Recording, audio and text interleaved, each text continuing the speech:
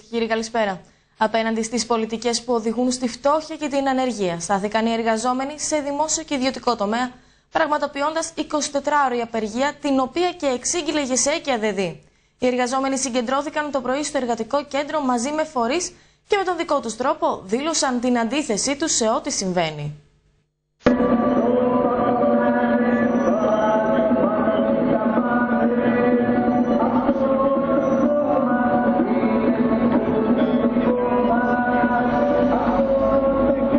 Το δικό τους ηχηρό μήνυμα έστειλαν σήμερα οι εργαζόμενοι σε δημόσιο και ιδιωτικό τομέα απέναντι στις πολιτικές που τους οδηγούν στη φτώχεια και την ανεργία. Σήμερα η απεργία η οποία γίνεται από τη ΓΕΣΕ και την ΑΔΔ έχει να κάνει βασικά με την υπογραφή συλλογικών συμβάσεων εργασίας. Είναι γεγονός ότι λύγει η Εθνική Γενική Συλλογική Σύμβαση, καθώς επίσης και μια σειρά από άλλες κλαδικέ συμβάσεις λύγουν. Υπάρχει ο νόμος, ο οποίος έχει να κάνει με την ενέργεια, που λέει ότι αν σε τρεις μήνες δεν υπογραφεί καινούργια συλλογική σύμβαση, ο εργοδότη μπορεί να πάει σε πρώτη φάση σε περικοπή του οικογενειακού επιδόματος και μετά να πάει σε ατομικές συλλογικές συμβάσεις. Γι' αυτό λοιπόν το κυρίαρχο και το αίτημά μας αυτή τη στιγμή είναι να προχωρήσουμε βασικά σε υπογραφή συλλογικών συμβάσεων και να προσέλθουν οι εργοδότες ως ΕΒΓΕΣΕΒΕ, η ΕΣΕ κλπ. για την υπογραφή Εθνικής Συλλογικής Σύμβασης, η οποία να έχει καθολική εφαρμογή και να μην είναι μόνο για τα μέλη, του, μόνο για τα μέλη των εργοδοτικών οργανών. Είναι λοιπόν βασικό το θέμα αυτό και γι' αυτό τα συνδικάτα ξεκινούν από σήμερα για αυτό το μεγάλο θέμα. Όπως ξέρετε, ο βασικός μισθός στη χώρα μας είναι πολύ χαμηλός, είναι 586 μεικτά, καθαρά είναι κάτω από 500 ευρώ και υπήρχαν και τελευταίες δηλώσεις που δημιουργούν μια σειρά ερωτηματικά. Επίσης είναι μια σειρά άλλα μέτρα τα οποία ζητούμε, τα οποία τα έχουμε πει πολλές φορές, τα οποία έχουν να κάνουν με την πάταξη της φοροδιαφυγής, ε, γιατί αυτή τη στιγμή είναι ένα μεγάλο θέμα, πρέπει το τέρας της φοροδιαφυγής να παταχθεί, γιατί στο τέλος θα αφανεί στη χώρα. Και επίσης να πάρθουν μέτρα για κοινωνικές ε, παροχές, μέτρα για τις συντάξεις, γιατί βλέπουμε ότι το ασφαλιστικό σύστημα δέχεται πολύ μεγάλες πιέσεις, ε, και υπάρχουν πιέσεις και για τα ωραία ηλικίας, ήδη έχουν ανέβει τουλάχιστον δύο χρόνια, αλλά υπάρχουν πιέσεις για τη μείωση των συντάξεων και μιλώ για τις επικουρικές συντάξεις. Οι εργαζόμενοι που συμμετέχουν στην 24ωρη γενική απεργία, που εξήγηλαν η ΕΣΕ και ΑΔΔ, συγκεντρώθηκαν το πρωί στο εργατικό κέντρο της Καλαμάτας μαζί με φορείς και δήλωσαν την αντίθεσή τους στα όσα ακολουθούνται που φέρουν τους ίδιους σε δύσκολη θέση. Ε, μετά από αυτή την απεργία έχει σειρά το συνέδριο της ΓΕΣΕ που είναι στις 21 Μάρτιου και εφόσον μετά εκλεγεί η καινούργια δίκηση και γίνει συγκρότηση θα δούμε από εκεί και πέρα θα εκτιμήσουμε τη στάση.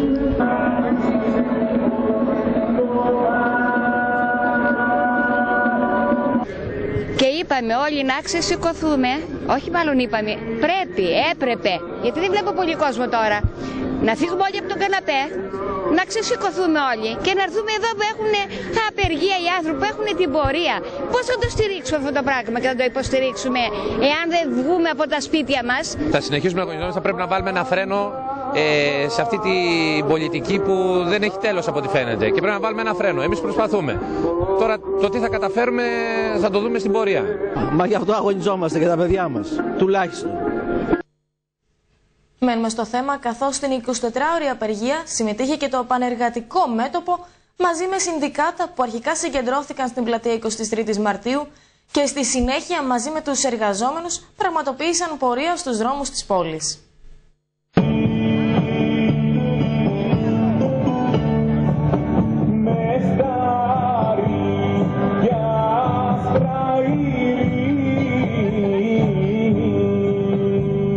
Με δυναμικό τρόπο διαδήλωσαν σήμερα με συγκέντρωση στην πλατεία 23η Μαρτίου και πορεία στους δρόμους τα μέλη του Πενεργατικού Μετόπου μαζί με συνδικάτα. Σήμερα είναι το αποκορύβωμα μιας κινητοποίησης που έχουμε ξεκινήσει από την ημέρα που έχει ξεκινήσει και προκηρυχθεί η απεργία. Ε, κάναμε ενημέρωση στους εργαζόμενους σε όλα τα σωματεία, στα γιαπιά, οι οικοδόμοι, ε, οι ιδιωτικοί υπάλληλοι, η ΠΑΣΕΒΕ, όλοι για να νεκρώσουν τα πάντα σήμερα. Ευελπιστούμε ότι η συμμετοχή του κόσμου και τα μηνύματα είναι πάρα πολύ θετικά και θα έχουμε πάρα πολύ μεγάλη επιτυχία. Ε, να πω ότι από το πρωί από τις 5.30 το πάμε είναι στο δρόμο, στους δρόμους Κλείσαμε το πρωί ε, και το, το ένα και το μετρό σε μια κινητοποίηση, απεργιακή κινητοποίηση. Περνούσαμε την απεργία μας και το ΠΑΜΕ έχει ζητήσει να συνεδριάσει εκτελεστική γραμματεία της ΓΕΣΕ για να συνεχίσει τον αγώνα. Να μην είναι δηλαδή μια τουφεκιά στον αέρα. Εμείς άλλωστε το έχουμε δηλώσει, είμαστε τα ταξικά σωματεία, τα ταξικά συνδικάτα και καλούμε το, το λαό και τον εργαζόμενο λαό να συνεχίσει τον αγώνα του μέχρι τελική απελευθέρωση. Τα μέλη του ΠΑΜΕ ζήτησαν από τους εργαζόμενους να αντισταθούν, συμμετέχοντας στις κινητοποιήσεις που έχουν προγραμματιστεί. Ιδιαίτερα τη νέα βάρδια της εργατικής τάξης που πήγαν μπροστά θαραλέα στην οργάνωση του αγώνα εκεί που κρίνονται οι εξελίξεις.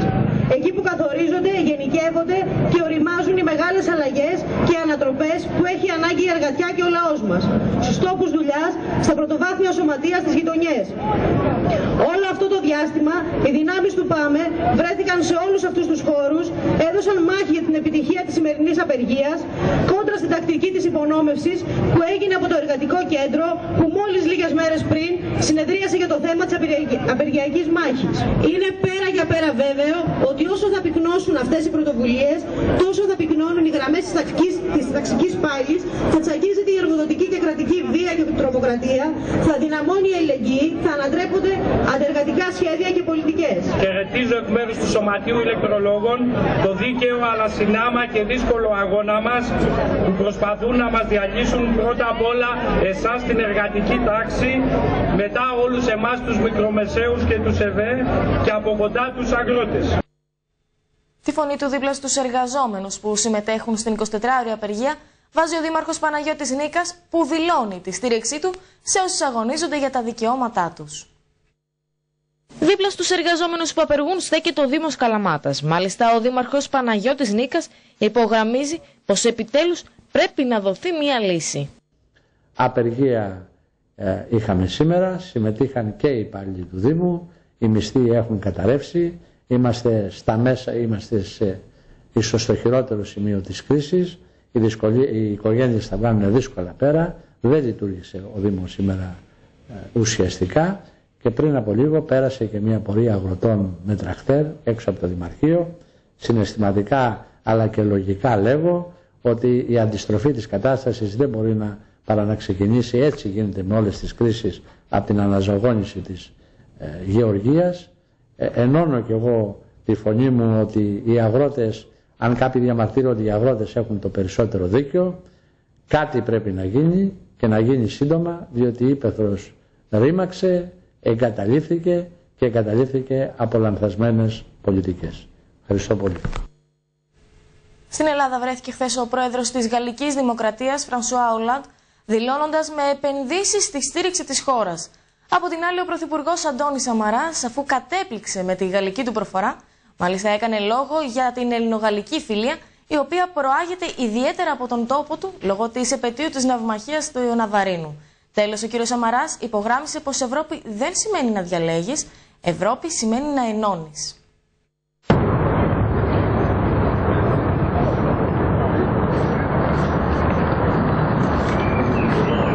Ιστορική σημασία για την Ελλάδα της κρίσης είχε η επίσκεψη του Προέδρου της Γαλλικής Δημοκρατίας Φρανσουά Ολάντ στην Αθήνα, όπου συναντήθηκε με τον Πρόεδρο της Δημοκρατίας Κάρολο Παπούλια, τον Πρωθυπουργό Αντώνη Σαμαρά και τον πρόεδρο του Πασόκ Ευάγγελο Βενιζέλο. Με τη Γαλλία μας συνδέουν ιστορικοί δεσμοί, δεσμοί αιώνων, αλλά και ιδιαίτερα στενοί δεσμοί τις τελευταίες δεκαετίες.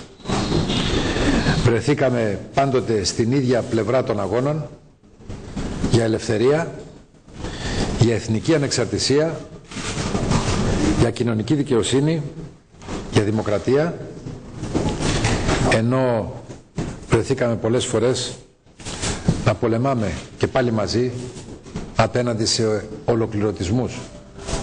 Ο Γάλλος πρόεδρος χαρακτηριστικά δήλωσε «Η Ελλάδα πάντα ήταν στο πλευρό μας και εμείς το ίδιο κάνουμε τώρα. Είμαστε άρρηκτα συνδεδεμένοι. Όταν ακούω τους Έλληνες ηγέτες να μιλούν γαλλικά, πείθομαι ακόμη περισσότερο για τις καλές μας σχέσεις». Αξίζει να αναφερθεί ότι ο πρόεδρος βρέθηκε στην Ελλάδα για να βοηθήσει τη χώρα με τον δικό του τρόπο, δηλαδή τις επενδύσεις. Ενημέρωσα τον ε, φίλο Γάλλο Πρόεδρο για τη μεγάλη πρόοδο που έχει κάνει η Ελλάδα στην καταπολέμηση του ελλείμματος και στην πρόθεση των διαρθρωτικών αλλαγών. Αλλά του υπογράμμισα παράλληλα και το βαρύ τίμημα που πληρώνει με θυσίες ο ελληνικός λαός σε ύφεση και σε ανεργία. Ειδική μνήμα στην Πύλο έκανε ο Αντώνης Σαμαράς παρόντος του Γάλλου Προέδρου. Ο Πρωθυπουργός, μιλώντας για την ελληνογαλλική φιλία και τις σχέσεις των δύο χωρών, ανέφερε χαρακτηριστικά πως προέρχεται από έναν Δήμο, ενώντας την Πύλο, που τιμά ιδιαίτερα την ελληνογαλλική φιλία, αφού κάθε χρόνο γιορτάζεται η επέτειος της ναυμαχίας του Ναβαρίνου, όπου ο στόλος των μεγάλων δυνάμεων υπό του ναυάρχου Δεριγνή, Γκόλδρικτον και Χέιντεν υπερισχύει του τουρκογιεπτιακού στόλου του Ιμπραήμ και στέλνει μήνυμα ελευθερίας. Προέρχομαι από μια περιοχή και ιδιαίτερα από ένα Δήμο που τιμά με αγάλματα και με αιτήσιες μεγάλες γιορτές. Την τεράστια συνδρομή της Γαλλίας στην απελευθέρωση του τόπου στην Επανάσταση του 21 και ως εκ τούτου δεν μπορεί παρά να είναι τιμή να συνεχίζεται αυτή η πορεία φιλίας και βοήθειας με την ε, φίλη Γαλλία. Εμείς μένουμε στο θέμα και να καλησπερίσουμε τον διευθυντή της τηλεόρασης Μπέστη Νίκο Μπελογιάννη και τον διευθυντή της εφημερίδας Φωνή Θανάση Τσαμούλη. Νίκο, καλησπέρα. Καλησπέρα, καλησπέρα, καλησπέρα, καλησπέρα. Τελικά, Νίκο, πόσο σημαντική ήταν η επίσκεψη του Γάλλου Προέδρου της Δημοκρατίας; Δέσποινα, αυτό που έχω να πω και το έχω ξαναπεί άλλη φορά και άλλες φορές και θα καταντήσω γραφικό, αλλά είναι η ουσία και θα πρέπει να το πιστέψουν όλοι, εκτιμώ όλοι, είναι ότι ο Σαμαράς γράφει ιστορία. Όσο και να φαίνουμε πολύ φιλοσαμαρικός, όσο και να φαίνουμε υπερβολικά σε κάποια πράγματα σαμαρικός να το πω και, πάλι, εγώ εκτιμώ και υποστηρίζω το Σαμαρά επειδή είναι από τον τόπο μας. Ο Σαμαράς γράφει ιστορία.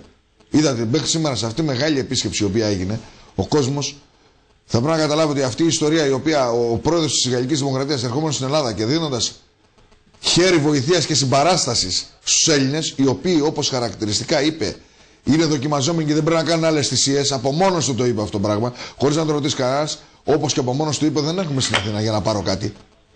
Όπως τον κατηγόρησαν σε κάποιε εφημερίδες, σε κάποια blogs, τα...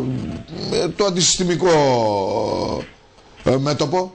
Λέγοντας ότι ήρθε ο Λάν να πάρει, να πουλήσει εξοπλισμούς, να κάνει, να φτιάξει.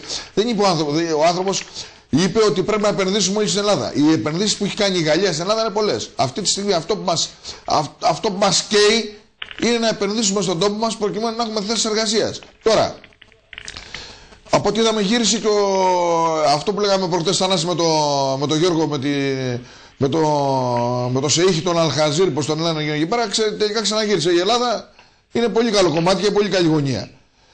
Μένοντας πάλι στον πρόεδρο της Γαλλικής Δημοκρατίας, θέλω να πω ότι ο Σαμαρά σε έξι μήνες κατάφερε. Έχει ανατρέψει όλο το, όλο, όλο, όλο το μέτωπο, όλο, όλο το κακό, το, το όνομα το κακό της Ελλάδος σε όλο τον κόσμο. Εκτιμώ για μένα είναι πολύ, μεγάλη, ε, πολύ μεγάλο επίτευγμα αυτό. Βέβαια, εμείς πεινάμε εδώ. Βέβαια και πεινάμε, δεν το αμφισβητεί κανένας. Αλλά εκτιμώ ότι με όλη αυτή την ιστορία και με όλη αυτή την παράσταση η οποία δίνεται θα δημιουργηθούν θέσεις εργασίας και αυτοί θα, που επηρεάζουν τα μεγάλα ονόματα, η Γερμανία, η Γαλλία, τώρα ξέρω πολύ καλά, η Γαλλία τώρα είναι υπερδύναμη της Ευρώπης. Ε, αυτοί όλοι επηρεάζουν και τους διεθνούς οίκους ε, χρηματοδότησης και όλα αυτά τα πράγματα τα οποία περνάνε μέσα από την καθημερινότητά μας προκειμένου να δανειστούν και οι τράπεζες, να δανειστούν και οι επιχειρήσεις, να δανειστούν σε συνέχεια και οι επιχειρήσεις και όλα αυτά τα πράγματα. Χωρίς να θέλω πάλι να πω και να καταντήσω, το ξαναλέω γραφικός, ο Σαμαράς γράφει ιστορία. Ο Σαμαράς γράφει ιστορία και θα το δούμε μπροστά μας. Όποιες πεπιθήσεις πολιτικές να έχει ο καθένας. Ο Σαμαράς είναι από τον τόπο μας. Οφείλουμε να στηρίξουμε το Μεσίνιο Πρωθυπουργό. Είδατε την αναφορά που έκανε για την Πύλο. Δείχνει ότι τη Μεσσηνία τελικά δεν την ξεχνάει ποτέ ο Σαμαράς. Εμείς σαν Μεσίνη έχουμε να κερδίσουμε πιο πολύ. Εκτιμώ από κάποιους άλλους και σαν Έλληνες Ξαναλέω αυτή τη στιγμή το επίτευγμα αυτό το οποίο έχει γίνει. Ερχόμενος και ο, ο Γάλλος Πρωθυπουργός και όλοι, όλοι οι αξιωματούχοι, αλλά και το κυριότερο από όλα το όνομά μας διεθνώς πώς έχει αναβαθμιστεί. Σε λίγο από ότι για να ενημερώσουμε και τον κόσμο θα μας μεταφέρει και το κλίμα από τις Βρυξέλλες που είναι σε αποστολή ο Θέμης ο Κανελόπουλο. Αν προλάβει βέβαια μέσω Skype να μας μεταφέρει και το κλίμα ο Θέμης ο Κανελόπουλο, προκειμένου να δούμε και το κλίμα στις Βρυξέλλες πώς είναι. Κακά τα ψέματα, η κατάσταση αυτή τη στιγμή η οποία το ζούσαμε και εμείς στι επιχειρήσεις μας. Η κατάσταση η οποία αυτή τη στιγμή βιώναμε και βιώνουμε. Εμείς εδώ πέρα στην Ελλάδα είναι δύσκολες οι μέρες οι οποίες περνάμε, όλοι επιχειρηματικά και όχι μόνο, και οικογενειακά και κοινωνικά και παντού, σε όλα τα πράγματα. Αλλά δυστυχώς όμως ότι εμείς επειδή εξαρτώμαστε από τον ξένο παράγοντα και δανειζόμαστε πιο πολύ και δανειζόμαστε και ξαναδανειζόμαστε, εμείς το, το πρόβλημα το οποίο είχαμε και σαν επιχειρήσεις και σαν επιχειρηματίες όλοι, ξέραμε ότι αλλιώς μας αντιμετωπίζανε πριν 5, 6, 7, 8 χρόνια, 10 και αλλιώς μας αντιμετωπίζουν τώρα. Τώρα για να κάνουμε μια παραγγελία στο εξωτερικό μας λένε βάλτε τα λεφτά. Γιατί κύριοι είσαστε για κλείσιμο υποπτώχευσης. Φέρτε τα λεφτά μπροστά. Το ξέρουμε όλες τις δουλειές μας. Όποιος κάνει δουλειά στο εξωτερικό, του λένε βάλε τα λεφτά μπροστά. Το ξέρουμε όλοι. Αυτό έχω να πω. Θανάση, το δικό σου σχόλιο. Κοίταξε, καταρχήν νομίζω ότι ήταν πολύ θετικό γεγονός σε σχέση με την εμπέδωση ενός κλίματο εμπιστοσύνης. Τα τελευταία χρόνια τα τελευταία τρία χρόνια, τα τέσσερα θα σου πω, η Ελλάδα ήταν σχεδόν ε, απομονωμένη από, τους, ε, από τις ξένες χώρες. Αν σκεφτούμε ότι στα εγγένεια του Μουσείου της Ακρόπολης ο πιο επίσημος ήταν ο Μπαρόζο, ο οποίος είχε έρθει τότε γιατί ήθελε να ξαναβγεί η πρόεδρος της Κομισιόν, και από τότε και μετά ουσιαστικά επί Σαμαρά άρχισαν να έρχονται κάποιοι, εκτός του Strong Scan του Διεθνούς Νομισματικού Ταμείου πριν και μετά την Καμαριέρα, που ερχόταν τότε και έκανε ρεβεράντζες εδώ με τον Γιώργο. Λοιπόν, και το Σόρος και το Ρουμπινί και κάτι άλλο που δεχόταν ο Παπαντρέου, δεν είχε έρθει πολιτικός ηγέτης ε, εδώ. Και μην ξεχνάμε ότι και ο Μπάρα Ομπάμα όταν βγήκε πέρασε από την Αθήνα από τον αέριο χώρο και πήγε στην Τουρκία. Στην Ελλάδα δεν ήρθε. Λοιπόν, αυτή η διεθνής απομόνωση λοιπόν μαζί με την οικονομική κρίση είχαν σπρώξει την Ελλάδα στο χείτος του γκρεμού. Μετέωρη. Από ό,τι φαίνεται από τον Ιούλιο και μετά, μετά τις εκλογές και τις ε, εξελίξεις εδώ στις πολιτικές στην Ελλάδα, με την τρικοματική κυβέρνηση Σαμαρά, το κλίμα σιγά σιγά άρχισε και αποκαθίσταται. Να σημειώσουμε και μια διαφορά. Στο ταξίδι με τη Μέρκελ υπήρχε, αν θυμάστε, είχαν βάλει και τον προστατευτικό τείχος, υπήρχαν διαδηλώσεις, υπήρχε, υπήρχαν ε, εκεί χιτλερικά ταμπλό, ιστορίες, το ένα άλλο κλπ. Τώρα το κλίμα ήταν απόλυτα ήρεμο. Βέβαια αυτό μας παραπέμπει και στο σύνθημα Ελλάς-Γαλλία Συμμαχία, το οποίο βγήκε από τη μεταπολίτευση. Μην ξεχνάμε το σημαντικό ρόλο στην αποκατάσταση της δημοκρατίας το 1974 που έπαιξε η Γαλλία. Και στην πορεία βεβαίως πάντα ήταν σύμμαχος και φιλικά προσκύμενη με το αζημίωτο βέβαια γιατί Τώρα αυτά που λέμε αν ήρθε για τα συμφέροντα της Γαλλίας και δεν ήρθε βεβαίως όλοι οι πρόεδροι τα συμφέροντα της χώρας τους πρωτίστως υπηρετούν. Αλλά τα συμφέροντα της χώρας τους είναι και συμφέροντα της Ευρώπης. Και η Ελλάδα είναι στην Ευρώπη. Και το σημαντικότερο νομίζω μήνυμα αυτής της ε, επίσκεψης ήταν η αναφορά, η λεπτομερή στην ΑΟΣ και τα μηνύματα που εστάλησαν και από τον Σαμαρά και από τον Ολάντ στην Τουρκία. Αθανάση αυτό, συγγνώμη Θανάση, αυτό η αναφορά στην ΑΟΖ, αυτό που είπες, ήταν συγκλονιστικό. Τη στιγμή που είδες ο Γάλλος πρόεδρος ε, προέτρεψε τον Έλληνα να ανακηρύξει την ΑΟΣ, δηλαδή να είμαστε, μας συμπαραστάθηκα για την ΑΟΣ που ξέρουμε τι εκβιασμοί γίνονται αυτή τη στιγμή για την ΑΟΣ, να μην γίνει η ΑΟΣ η ελληνική. Βεβαίως. Λοιπόν, κοίταξε, τώρα το ότι ας πούμε η Γαλλία έχει συμφέροντα στην περιοχή. Μα εμείς όταν ζητάμε επενδυτές από τον Εμμύρη και τον κάθε κακομύρη θα λέμε ότι δεν θέλουμε τις επενδύσεις των, ε, των Γάλλων ή αν πάση περιπτώσει έχουμε ανάγκη λέει θα εγκιάσουμε κάποιες φρεγάτες, ε, συνοδευτικά σκάφη ερευνητικών σκαφών ή ξέρω εγώ κάποια αεροπλάνα. Δεν κατάλαβα δηλαδή και τι θα, από πού θα πρέπει να τα πάρουμε ας πούμε. Δηλαδή θέλω να πω σε αυτούς ότι και καλά ο Λάντ ήρθε ως πλασίε εταιριών γαλλικών. Αυτά είναι αστεία. Τι πλασίε, σε μια χώρα ρεμένη. Ναι, ναι, αυτά το ήταν... θέμα είναι ότι αν γίνουν επενδύσεις εδώ στην Ελλάδα ε, βεβαίως ε, τα κοιτάσματα και όλα αυτά θα κατευθυνθούν προς την Ευρώπη και η Ελλάδα ως επαρχία της Ευρώπης ουσιαστικά θα έχει και αυτή τα ωφέλη της. Θα έχει δηλαδή αυτή την πολυπόθητη σύγκληση για την οποία μπήκαμε στην Ευρωπαϊκή Ένωση η οποία βεβαίως τώρα είναι απόκληση. Οι χώρες του Νότου έχουν αποκλίνει σε σχέση με, το, με τις χώρες του Βορρά. Ο Ολλάνδε εγγυάται μια νέα συμμαχία με τις χώρες του Νότου στις οποίες βεβαίως προστρέχει και η Ελλάδα. Και βεβαίως ήταν και μια αναγνώριση της τάσης που πήρε η Ελλάδα, η οποία ήταν διπλωματικότατη επιτυχία σε σχέση με, τη, με τα γεγονότα στον Παλί. Η πρώτη χώρα που υποστήριξε τη Γαλλία ήταν η Ελλάδα και αυτό το είπε ο Γάλλος πρόεδρος και το επισήμανε μάλιστα κλπ.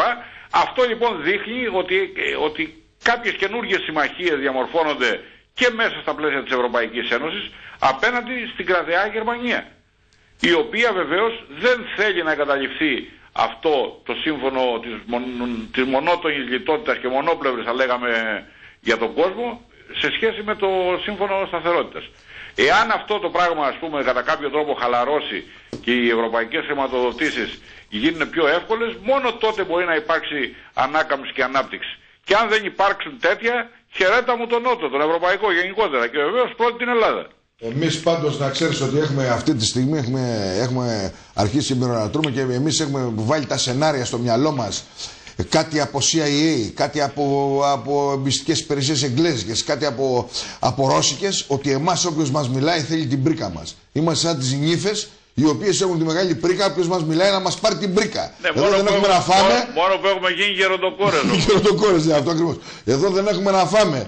Εδώ γίνεται η μετανάστευση όπως ξαναείπα είναι, είναι, είναι τεράστια. Εμείς σκεφτόμαστε, όχι, λέει, ήρθε να πουλήσει αεροπλάνα, να πουλήσει υποβρύχια, να πουλήσει το ένα, να πουλήσει το άλλο, να πουλήσει το άλλο. Αυτά τα πράγματα, άμα πρέπει να τα πάρουμε, θα πρέπει να τα πάρουμε και σε αυτούς οι οποίοι μας υποστηρίζουν. Έτσι δεν είναι; Ε. Δηλαδή, εμείς τους πελάτες του δικούς μας, να πάμε να πιούμε ένα καφέ, τους πελάτες του δικούς μας, μας βάζουν μια διαφήμιση, δεν πάμε πιο πολύ εκεί.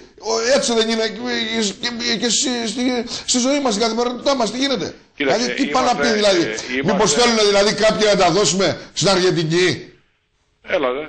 Ε, τώρα να σου πω και ένα άλλο. Το βασικότερο επίσης μήνυμα το οποίο σε σχέση με την εξωστρέφεια ε, την, την ελληνική είναι ότι το κλίμα που μετέδωσαν τα διεθνή μέσα γιατί τα ελληνικά βρήκανε μέρα να απεργήσουν. Ναι, ναι, αυτό, το αυτό ήταν η ξεφτύλα. Ε, και οι δημοσιογράφοι τώρα ας πούμε πήγανε όπως γράφει ένας συνεργάτης εδώ Θόδωρος ο Γαλανόπουλος αύριο 24 ώρη εκδρομή ε, ουσιαστικά γιατί αν πούμε τώρα ότι θα λύσει το πρόβλημα μια 24ωρη απεργία, όχι μόνο στον χώρο των δημοσιογράφων αλλά οπουδήποτε, καταλαβαίνετε τι, τι αστεί γινόμαστε ας πούμε.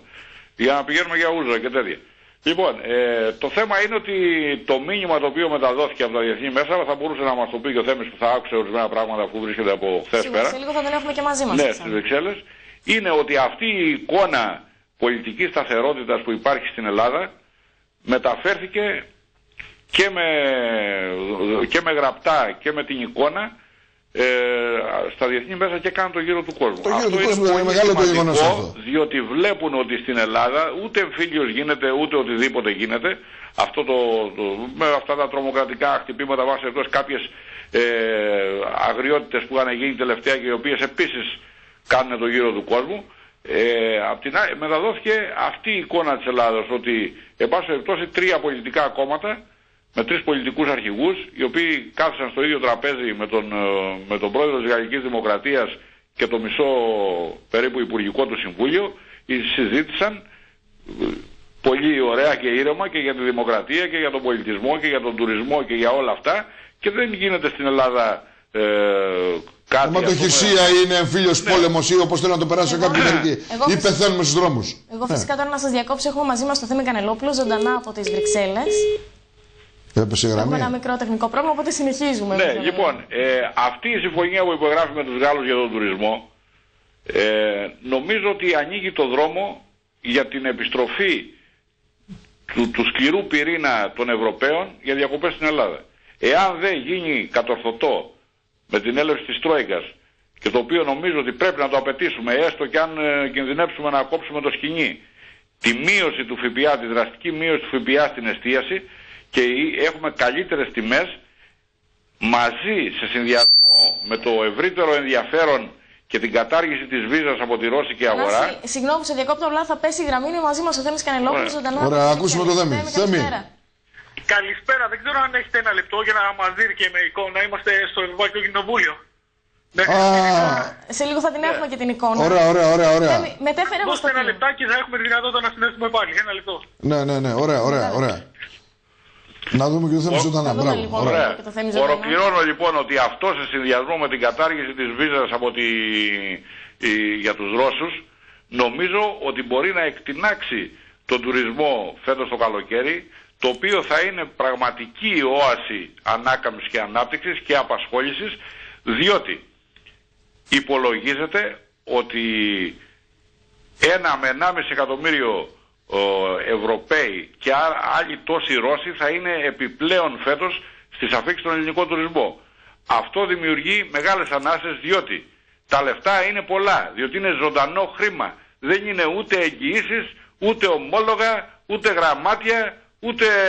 Και χρήμα ούτε- από έξω, ούτε όχι πι- όμως ούτε ανακύκλωση. πιταγές χωρίς Ναι. αντίκρισμα. Είναι χρήμα οξυγόνο το οποίο έρχεται εισαγόμενο, συνάλλαγμα θα λέγαμε. Συνάλλαγμα, έχει ναι, σημασία ναι, ότι είναι ναι, ευρώ, το οποίο είναι οξυγόνο για την ελληνική οικονομία. Αλλιώς θα σκάσουμε. Αυτή τη στιγμή η Ελλάδα πάσχει από οικονομικό οξυγόνο. Δεν υπάρχει μία.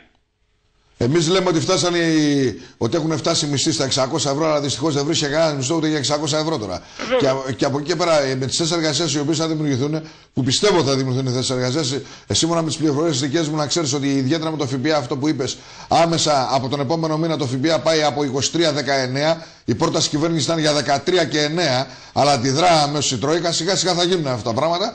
Πιστεύω ότι ο Αντώνη Σαμαράς αυτή τη στιγμή, σύμφωνα με πληροφορίες δικές μου έχει και που, ε, που έχω, σύμφωνα με τις πληροφορίες που έχω, από το οικονομικό επιτελείο σχεδιάζει με το που θα έρθει σε θετικό το ισοζύγιο, σε θετικό, σε, σε θετικό το ισοζύγιο της Ελλάδα, από εκεί και πέρα θα μπορέσει να κάνει και πολύ πιο περισσότερα πράγματα και να είναι πολύ πιο ευέλικτος και με την Τρόικα. Αυτή τη στιγμή, κακά τα ψέματα, είμαστε ε, υπό το κράτος του, του μνημονίου, του κακού μνημονίου που δεν το θέλει κανένας, το ξαναλέω, το κακού μνημονίου, αλλά δυστυχώς αναγκαίο.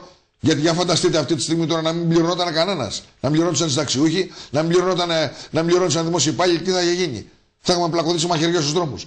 Ε, το πρώτο θέμα που λέω ξανά είναι ότι 23% θα γίνει 19 αμέσως στου επόμενους μήνες και αυτό το οποίο σχεδιάζεται Α, μάλλον οι πληροφορίες οι οποίες έχω είναι ότι φέτος η, η Ελλάδα θα έχει πολύ μεγάλη αύξηση τουρισμού και το κυριότερο απ' όλα ότι η Μεσσηνία θα έχει πολύ μεγάλη αύξηση τουρισμού. Νομίζω γύρω στις 3.500 πτήσεις θα είναι το αεροδρόμιο, στο αεροδρόμιο της Καλαμάτας. Ε, κάτι πρωτόγνωρο για τη Μεσσηνία και κάτι το οποίο θα πρέπει να το υποστηρίξουμε και εμείς εδώ. Αλλά και οι, επε- και οι επενδύσεις οι οποίες σχεδιάζονται και στην Πελοπόννησο και στη Δυτική Ελλάδα, αλλά ιδιαίτερα και στη Μεσσηνία είναι μεγάλες και θα πρέπει να, όλοι να είμαστε προσεκτικοί. Και να ξανατονίσω ότι θα πρέπει όλοι επιτέλους, επιτέλους, κάποιοι οι οποίοι έχουν λεφτά, γιατί πολλοί έχουν λεφτά, ήδη το ζώο έχει βρει σε πολλούς λογαριασμούς λεφτά, να επενδύσουν και στον τόπο τους. Δεν πρέπει να. Αυτή τη στιγμή ψάχνουμε να βρούμε Ιρακινούς, Χαλίφιδες, Εμμύριδες, Ρώσους, Πακιστανού, δεν ξέρω τι ψάχνουμε να βρούμε και δεν επενδύουν οι Έλληνες στον τόπο τους.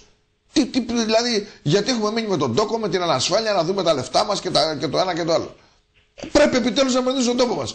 Ιδιαίτερα όσοι, αυτοί έχουν, όσοι έχουν παιδιά. Γιατί και όσοι έχουν παιδιά και έχουν λεφτά, οι περισσότεροι από όλους κοιτάνε να τα διορίσουν να γίνουν δημόσιοι υπάλληλοι. Ίσως αυτό συμβαίνει κιόλας γιατί οι ξένοι εντός εισαγωγικών αγαπούν περισσότερο τη χώρα ή έχουν δει κάτι άλλο που οι Έλληνες δεν έχουν δει στις επενδύσεις. Κοίταξε, το, το κράτος το, το δύσκολο το κράτος το ελληνικό, το ξέρουμε όλοι. Το είπε και ο Σεήχη προχθές, το είπαμε αυτό το πράγμα, αλλά το ξέρουμε όλοι. Αυτό το πράγμα είναι, είναι καθήκον της κυβέρνησης καθήκον της κυβέρνησης να το λύσει. Να το λύσει και να μπουν κάποιοι στον τόπο του. Όπως ξαναείπα και προχθές, ότι αυτοί οι οποίοι εμποδίζουν τι εμποδίζουν τις επενδύσεις, και δεν λέω τις επενδύσεις του εξωτερικού και του εσωτερικού, μέχρι και τον άνθρωπο που θα πάει να φτιάξει μια πολυκατοικία, που τον ταλαιπωρεί η πολεοδομία, το δασαρχείο, το νερό, δεν ξέρω τι έχουν εκεί πέρα. Και αυτοί θα πρέπει, αυτοί που εμποδίζουν τις επενδύσεις, πρέπει να πληρώσουν. Όχι κάποιοι οι οποίοι κρατάνε τις φραγίδες και έχουν μείνει πίσω από κάτι καρέκλες και πληρώνονται πλουσιοπάροχα. Αυτοί οι άνθρωποι να μπορούν να, να, να εμποδίζουν κάποιες επενδύσεις οι οποίες είναι για τις τύχες όλων μας και για τις επενδύσεις και για θέσεις εργασίας. Κακά τα ψέματα. Γιατί όποιος επενδύει αυτή τη στιγμή, βέβαια επενδύει για δικό του όφελος, βέβαια επενδύει και θα πρέπει να οικονομήσει, να το πω στη λαϊκή, να οικονομήσει αυτός ο άνθρωπος, αλλά αυτός ο άνθρωπος προσφέρει και θέσεις εργασίας. Έχει αναρωτηθεί κανένας τώρα αυτή τη στιγμή με την ύφεση η οποία υπάρχει, πόσους έχει διώξει κάθε επιχείρηση. Πόσοι άνθρωποι, πόσοι συνανθρώποι μας δίπλα έχουν μείνει χωρίς χωρίς, χωρίς, χωρίς, χωρίς, ούτε ένα μισθό στο σπίτι τους. Προχτές που ήρθε μια γυναίκα κλαίγοντας σε εμάς εδώ πέρα και μας είπε: Κάντε κάτι να πάτε στον Δήμαρχο. Δεν έχει ούτε δουλειά ο άντρας μου, ούτε δουλειά εγώ και, και είχε τρία παιδιά. Τι να τη πούμε αυτής της γυναίκας; Έχουμε μαζί μας το Θέμη Κανελόπουλο. Είναι μαζί; Ναι, μας. ναι. Ε, Θέμη. Δεσποινά, ε, ε, μ' ακούς; Ναι, ναι, σε ακούμε μια χαρά. Καλησπέρα από Βρυξέλλες. Τώρα δεν Καλησπέρα. έχουμε καταρθώσει να σας δώσουμε εικόνα ακόμα από το Ευρωπαϊκό Κοινοβούλιο. Είναι λίγο δύσκολα τα πράγματα και εξαιρετικά στενά. Να σου πω μόνο και μόνο ότι δεν επιτρέπονται κάμερες. Ε, έχει το δικό του συνεργείο. Το... Γιατί φόβονται τους Ταλιμπάν, ρε Θάνας. Ρε Θέμη. Λοιπόν, όχι, όχι. Υπάρχει μια τρομερή οργάνωση. Αυτό που είδαμε εμείς από κοντά είναι αυτό που λέει τη χώρα μας. Μια τρομερή οργάνωση και ακόμη και στο επίπεδο των μεταδόσεων. Ασφάλεια φοβούνται μην τους ρίξουν μια μπόμπα, για πες μας. Ε, Πάντως μπορώ να σας πω ότι τους ε, Έλληνες τους έχουν πολύ καλό μάτι. Δεν χρειάστηκε να μας ψάξουν τόσο πολύ εξονυχιστικά όσο άλλους λαούς. Ευτυχώς, ευτυχώς. κάτι, κάτι που δεν μας φοβούνται. Μπορώ να σου πω Νίκο μόνο τη ζώνη έβγαλα για το ζήτημα της τρομοκρατίας. Κάποιους άλλους τους ξεγύμνωσαν ολοκληρωτικά. Λοιπόν, ε, καταρχήν βρισκόμαστε. Μετέφερά μας το κλίμα της Ελλάδα πώς είναι εκεί; Ναι, ναι, το κλίμα της Ελλάδα. Εξαιρετικό. Θα σας πω μόνο ένα πράγμα το οποίο μας είπε πριν από λίγη ώρα. Να σας πω μόνο ότι βρισκόμαστε περί τις 9 ώρες μαζί με ευρωβουλευτές από όλα τα ρεύματα, κυρίαρχα ευρωβουλευτές του Πασόκ. Είχαμε μια εξαιρετικά γόνιμη συζήτηση, 9 ώρες συνέχεια, ό,τι σας λέω. Λοιπόν, με τον Χάνες Σβόμποντα, ο οποίος είναι ο επικεφαλής της ομάδας των σοσιαλιστών ε, του Ευρωπαϊκού Κοινοβουλίου. Ε, και μάλιστα μας είπε εξαιρετικά σημαντικά πράγματα για την Τρόικα. Καταρχήν, μας είπε ότι δεν μιλάμε για Τρόικα, μιλάμε για τη Τρόικα. Δηλαδή, έβαλε μπροστά τον όρο Distr, destroy, ότι καταστρέφει η Τρόικα αυτό που γίνεται στην Ελλάδα. Η Ελλάδα θα πρέπει να δράσει γρήγορα, μας είπε, Ναι. ε, και μας έδωσε το, ε, την βασική κατεύθυνση που έχει να κάνει με τη δική μας παρέμβαση πλέον στα γεγονότα και πόσο σημαντικό είναι ότι έχει αλλάξει αυτό το κλίμα. Πλέον δεν μιλάμε για έξοδο της Ελλάδας από την Ευρώπη, για το λεγόμενο Brexit, αλλά για το λεγόμενο Brexit. Η συζήτηση εδώ πέρα στο Ευρωπαϊκό Κοινοβούλιο έχει μεταφερθεί αποκλειστικά και μόνο στην ε, πρόθεση της Βρετανίας και τα όσα συζητάει ο κύριος Κάμερον.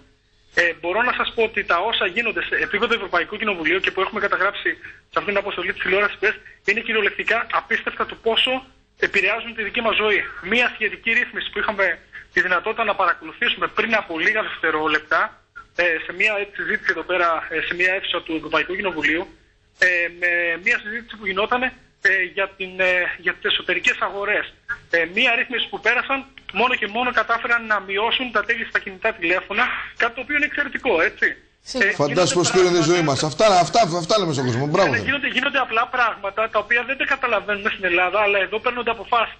Για να καταλάβουμε τι συμβαίνει στο Ευρωπαϊκό Κοινοβούλιο, μιλάμε για 764 βουλευτές, εκ των οποίων μόνο 22 είναι Έλληνες, έτσι. Δηλαδή 22 Έλληνες για να πάρουν μια οποιαδήποτε απόφαση και κάτω από το οποιοδήποτε Φαντάζομαι τι συμμαχίε πρέπει να κάνουν. να έχουν, πρέπει να έχουν την πλειοψηφία του Ευρωπαϊκού Κοινοβουλίου. Πρέπει να έχουν το 50 συν 1.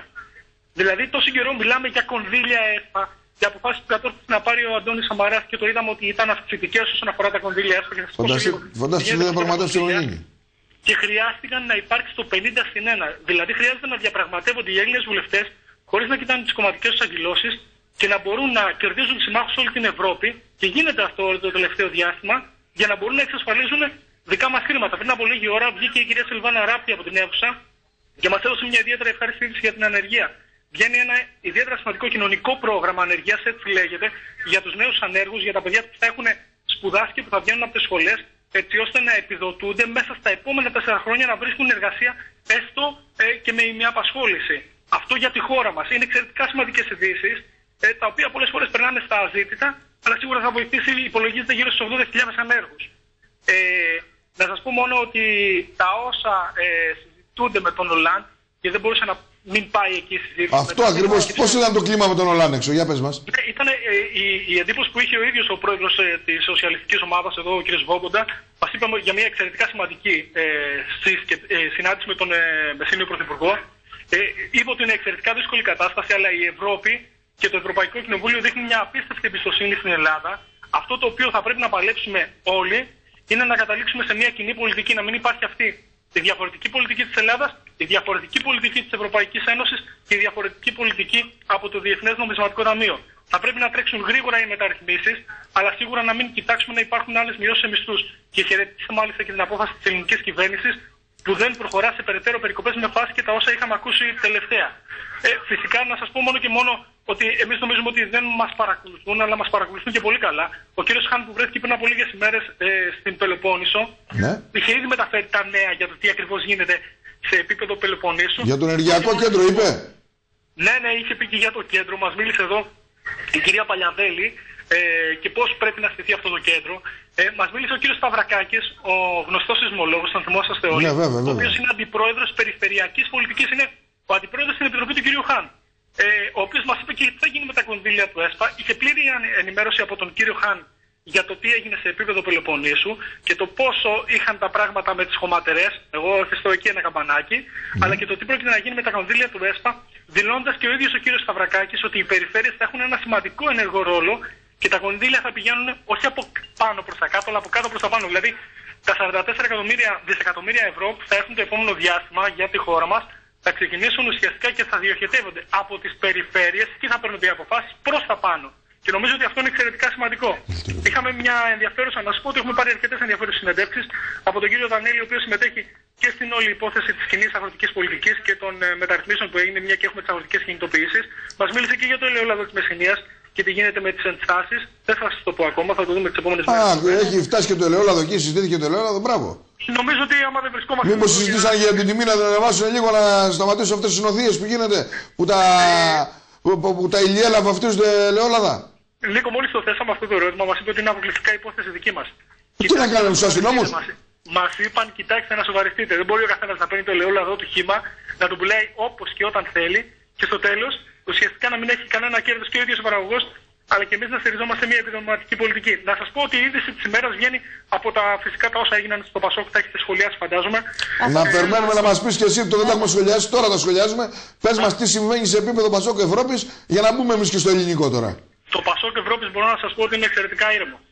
Δεν υπάρχει κάποιο εξαιρετικό άγχος με εξέλιξη, με, ίσως με μοναδικό ε, ζητούμενο τις επόμενες ευρωεκλογές. Μόνο εκεί υπάρχει ένα άγχος. Εδώ βέβαια, ε, να σας πω μόνο για να κλείσω το θέμα της Ευρώπης, ότι οι έννοιες της συνδιαλλαγής και του συμβιβασμού είναι εντελώς διαφορετικές και προσεγγίζονται με πολύ όμορφο τρόπο. Ε, δηλαδή, βλέπαμε, μιλήσαμε με τον Μανώλη Μαυρομάτη, ο οποίος ήταν σε συνεργασία με άλλους ευρωβουλευτές από άλλους χώρους ε, πολιτικούς και όλοι προσπαθούσαν να βρουν ε, μια άκρη για ένα ζήτημα που απασχολούσε την Επιτροπή τους. Κλείνω και πάω στο Πασόκ. Μόνο και μόνο συζήτηση με τον Δημήτρη Δρούτσα, ο οποίος ήταν ε, ένας εξ των απορρίτων ε, ουσιαστικά του ΓΑΠ. Του, του, ε, του Γιώργου Παπαντρέου. Τι είπε για τον Παπαντρέου, τι είπε; Λοιπόν, είπε ότι έχω τρομερή εμπιστοσύνη στον Γιώργο Παπανδρέου και είναι θέμα του ελληνικού λαού να επιστρέψει ξανά στην κεντρική σκηνή.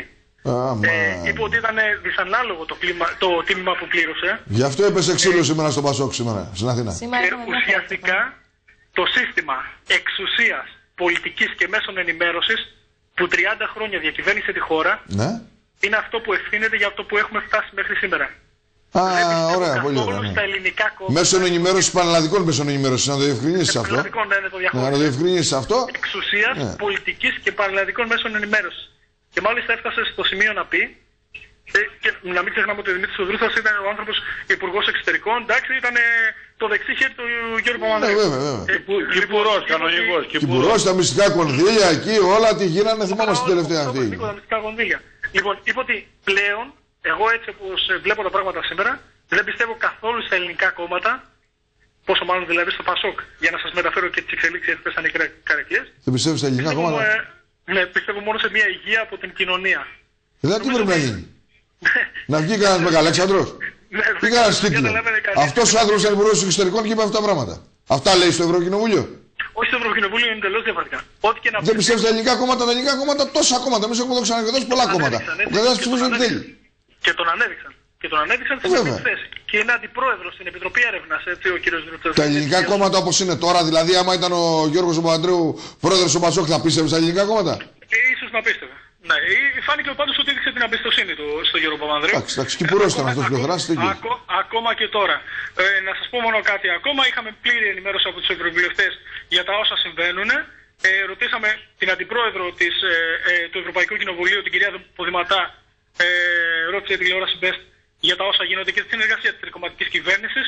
Σημείωσε πως αυτά που γίνονται σε επίπεδο Ευρωκοινοβουλίου είναι πολύ σημαντικά και έχουμε μια κατεύθυνση επιτέλους για μια συνεργασία και ελληνικών κομμάτων. Δεν αλλοιώνεται η φυσιογνωμία του Πασόκ και δεν θα πρέπει να ανησυχούν οι φίλοι του Πασόκ είπε, από αυτήν την συνεργασία.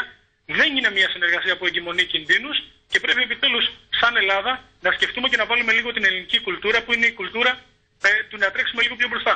Ε, να σας πω μόνο ότι όπου και βρεθήκαμε και εδώ πέρα και μιλήσαμε με ξένους αξιωματούχους ή ακόμα και με ε, συναδέλφους από το εξωτερικό, μας αντιμετώπιζαν με πάρα πολύ καλό κλίμα. Ενδεικτικό ότι η ατάκα που μας είπε πριν από δύο ε, εβδομάδες ο Άδωνης Γεωργιάδης στο ΤΕΣΤ, ότι πήγαινα στις Βρυξέλλες και δεν μου φέρνανε νερό, ίσχυε ακόμα και για τους Έλληνες ευρωβουλευτές πριν από δύο χρόνια.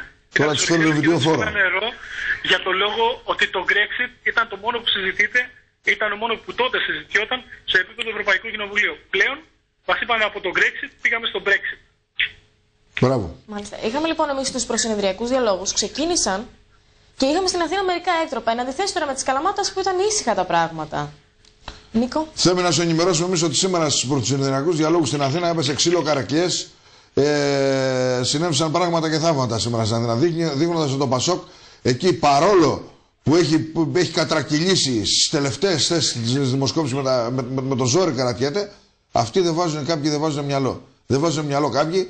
Ε, δεν ξέρω τι κλίμα επικρατεί, δεν ξέρω τι, τι, τι, τι τους χωρίζει, τι τους ενώνει. Τώρα αυτό που μας είπες βέβαια με το θέμα με το, με το αυτό που είπε ο κ. Τούρτσα και τον κύριο τον Παπαντρέου, από ό,τι φαίνεται υπάρχει μια μεγάλη κόντρα ε, Παπαδρεϊκών και Βενιζελικών. Αυτό είναι το θέμα τώρα από, από ό,τι φαίνεται ότι, ότι γίνεται. Δεν έχουν καταλάβει ότι Ενδεχομένως δεν ξέρεις τι αποφασίσει ο ελληνικό λαός. Μήπως δεν είναι και, στο, και στην κυβέρνηση. Πράγμα που μήπως δεν γίνει στην κυβέρνηση, μήπως δεν γίνει στο κοινοβούλιο, στο ελληνικό κοινοβούλιο. Πράγμα που θα είναι δυσάρεστο αυτό το πράγμα για ένα πολύ μεγάλο κόμμα όπως είναι το Πασόκ.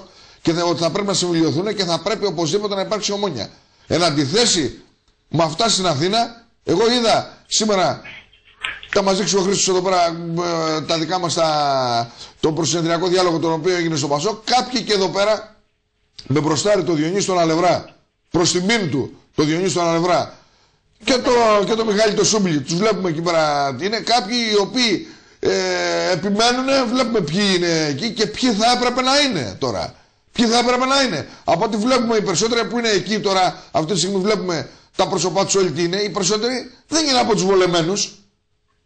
Είναι απλά στελέχη τα οποία συμβάλλουν προκειμένου να σωθεί το Πασόκ, να αναταχθεί το Πασόκ και μαζί με αυτό να υπάρχει μια ισχυρή φωνή ώστε να αναταχθεί και η χώρα.